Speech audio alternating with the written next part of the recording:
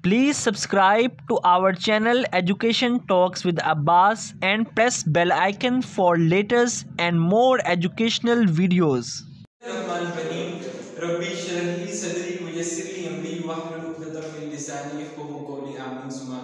So dear friends हमने जो है एक सीरीज़ स्टार्ट की है क्लास 11th की केमिस्ट्री की, जिसमें हमने चैप्टर 1 कवर कर लिया था और आपने मेरी प्रीवियस वीडियो में इस चैप्टर की हमने डिस्कस किया था सब्लिमेशन के बारे में और इसके बारे में किया था?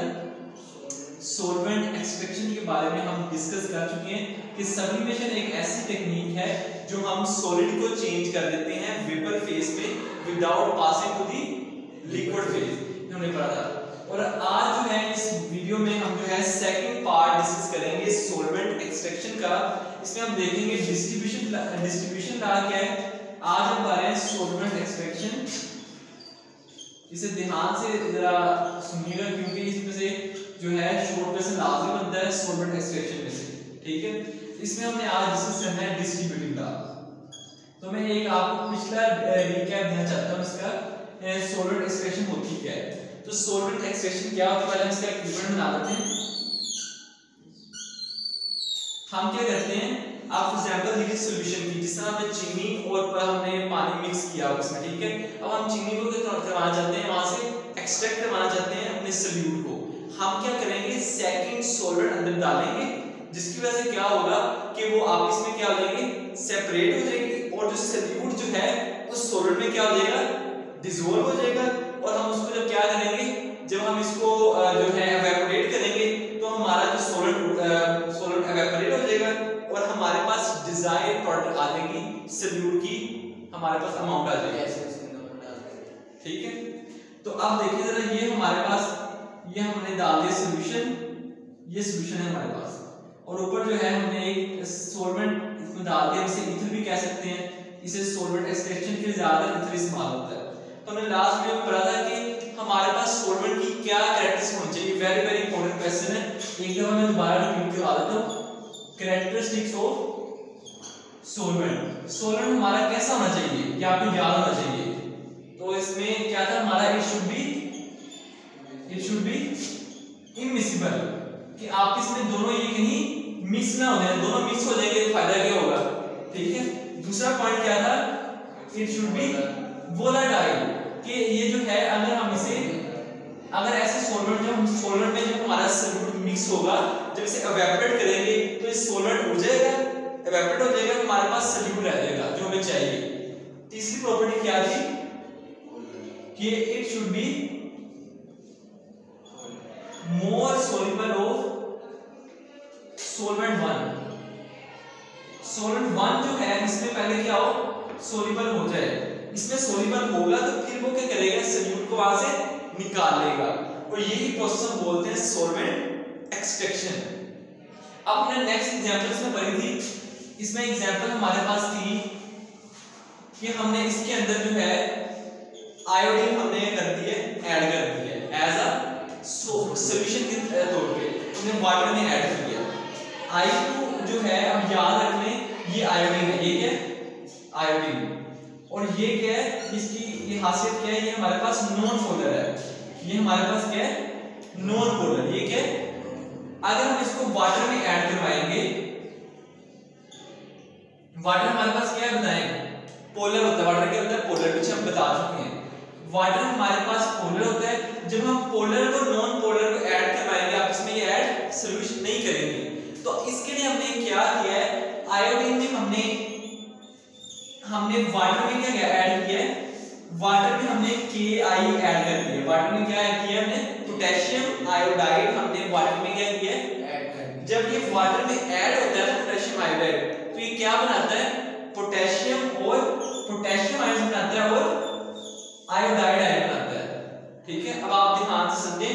हमने किया है हमने वाटर में ऐड किया है। वाटर में ऐड किया तो क्या बना दिए आयंस बना दिए अब जब वाटर में ये आयन जो है ये अट्रैक्ट करेंगे किसके साथ? आई टू के साथ आई टू के साथ। तो ये हमारे पास क्या बन जाएगा? आई थ्री ये क्या बन जाएगा? आई थ्री अब इस फिनोमिना को हम समझने की कोशिश करते हैं थ्रू डायग्राम अब सबसे पहले आप बताएँ हमने क्या लिया? हमने एक वाटर लिया क्या लिए वाटर लिया अब हमने हमारे पास क्या था? उसमें हमने क्या ऐड करवाया? में आती हैं। तो हमारे पास तो आई टू ले लेते हैं। I two plus I minus हमारे पास क्या बन गया? आई थ्री बन गया। क्या बन गया? अब इसका मतलब क्या होता है कि ये दोबारा रिवर्सिबल रिवर्सिबल अब हमने यहाँ पे एक में बात करनी है कि अब ये हमारा डिस्ट्रीब्यूशन ला जो है, ये कैसे करेगा? अब देखो आयोडीन हमारे, जब हमने आयोडीन साथ हमने ये I माइनस ऐड किया तो क्या बन गया? I3 बन गया। अब ये वाटर में क्या हो जाएगा? ऐड हो जाएगा। हमारे पास ये देखिए फनल है। ये हमारे पास फनल है। इसमें क्या हो गया? ये जो है सोल्यूबल हो गया। ये क्या हो गया? वाटर में सोल्यूबल हो गया। ये हमारा कौन सी चीज़ आई थी? हमारा क्या हो गया? वाटर में सोल्यूबल हो गया। ये हमारे पास क्या बन गया? सॉल्यूशन ये किस चीज़ का सॉल्यूशन है? इसमें क्या है? एक हमारे पास वाटर है और दूसरा हमारे पास क्या है? आई है। ये आपस में क्या हो गया? सोल्यूबल हो गया। अब मैं चाहता हूँ कि इसमें से मैं इसको आयोडीन को दोबारा वापस निकालूं। अब मैं क्या चाहता हूँ? आयोडीन को दोबारा वापस निकालूं। अब इसके लिए मैं क्या करूँगा? सॉल्वेंट यूज़ करूँगा, जो वोलेटाइल हो, जो इमिसिबल हो। मैं यहाँ पे नाम ले लेता हूँ इसका CCl4 क्या नाम लेता हूँ मैं? CCl4 यहाँ पे आप इथर भी यूज़ कर सकते हैं सॉल्वेंट यहाँ पे CCl4 भी यूज़ कर सकते हैं। अब मैंने CCl, अब ये हमारे पास क्या है? सॉल्वेंट ये हमारे पास सॉल्यूशन मैंने इसकी मदद से मैंने इसको करवाना है सेपरेट करवाना है। अब आप खुद देखें, अब जब हमारे पास ये लेयर बन गई, जब हमारे पास लेयर बन जाएगी इसकी तो आप इसमें सोल्यूबल ये कैसे होंगे? हम क्या करवाएँगे? शेकिंग करवाएँगे। क्या करेंगे? शेक करवाने के दो फ़ायदे हमारे पास होंगे। ये आप याद रख लें क्योंकि ये बोर्ड में क्वेश्चन आता है कि how how shake is important in the solar extraction तो इसकी क्या इसकी रीजन है पहले तो आपका जो है कांटेक्ट सरफेस एरिया क्या हो जाएगा इंक्रीज हो जाएगा कांटेक्ट सरफेस एरिया क्या हो जाएगा इंक्रीज हो? जाएगा। ये साथ लिखते भी जाएँगे। ये पहले रीजन लिखते जाए साथ साथ रीजन हमारे पास क्या है? कांटेक्ट सरफेस एरिया इंक्रीज हो जाएगा। और हमारे पास जो है, ये I2 किसमें डिसॉल्व हो जाएँगे? Is dissolving in second solvent अब आप इसको समझने की कोशिश करें। हमने CCl4 ऐड किया अब ये है रिवर्सिबल है। अब देखो जब ये सॉल्यूशन में जाएगा CCl4 क्या है? क्या है? नॉन पोलर नॉन पोलर है हमारे पास। तो हमने इसको हमने क्या बना दिया? आयोडीन को? पोलर बना दिया, जो ऐड हो गया था। अब ये वाटर में, अब ये इसका मतलब क्या? रिवर्सिबल ये दोबारा ये टूट जाएगा। अब दोबारा टूट के आयोडीन बना दिया? अब आयोडीन क्या बन गया? नॉन पोलर अब नॉन पोलर नॉन पोलर में क्या आ जाएँगे? ऐड हो जाएँगे। और जब हम इवेपोरेट करेंगे CCl4 को, हमारे पास क्या मिल जाएगा I2 मिल जाएगा समझ आई इस कांसेप्ट की ये हमारा था सॉल्वेंट एक्सट्रैक्शन का प्रोसेस अब आपको ये बात ज़हन में आनी चाहिए कि अब ये कैसे जाएगा? सॉल्यूट जो है, सोलर में कैसे दाखिल होगा? सॉल्यूट तो सॉल्यूशन में हमारा। अब ये किस किस हिसाब से अब ये उसमें ऐड होगा? उसे हम बोलते हैं डिस्ट्रीब्यूशन लॉ क्या बोलते हैं? ये आप देख रहे डिस्ट्रीब्यूशन लॉ जो है डिस्ट्रीब्यूटिव या डिस्ट्रीब्यूशन हम बोल देते हैं इसे लॉ अब डिस्ट्रीब्यूशन लॉ क्या कहता है? डेफिनेशन भी है, ये कहता है कि हमारे पास जो इसका solute solute will immiscible in second solvent solute will immiscible in second solvent कौन सा हमारे पास हमने ऐड किया ये वाला? ये है. Solute will immiscible in second solvent या कह सकते हैं solute will immiscible in, या ये इसको सही कर लें। Will mix कर दें will mix in second solvent which is immiscible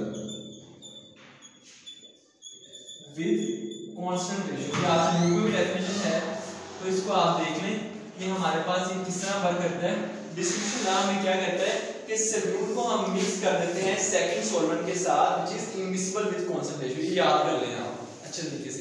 और इसका जो आपके पास, इसका हमारे पास जो एक रिलेशन होता है, वो भी देख लें। उसे हम बोलते हैं केडी डिस्ट्रीब्यूशन कांस्टेंट क्या बोलते हैं इसे? डिस्ट्रीब्यूशन कांस्टेंट क्या इसकी इसकी है? ये भी ध्यान से आप देख लें।